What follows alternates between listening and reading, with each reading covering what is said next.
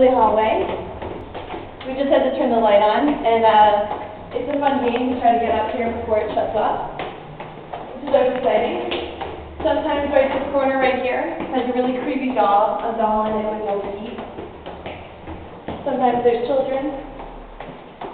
Sometimes there's carpet and of hanging.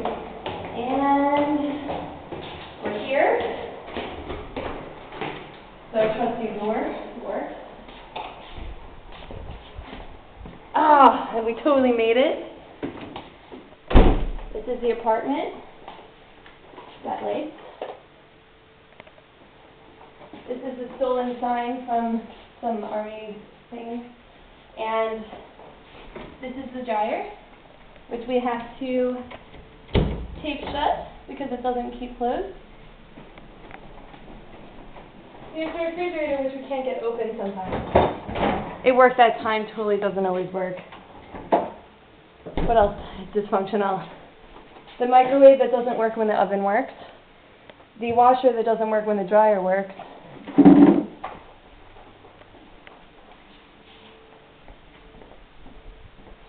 The bathroom that doesn't get cleaned by itself, but we have a roommate that doesn't do it.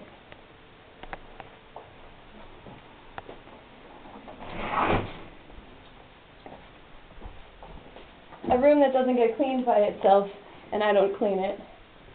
Um, a window that doesn't have a curtain on it, which is excellent.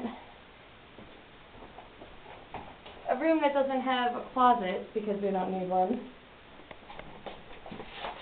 A water heater that doesn't work automatically because we have solar panels.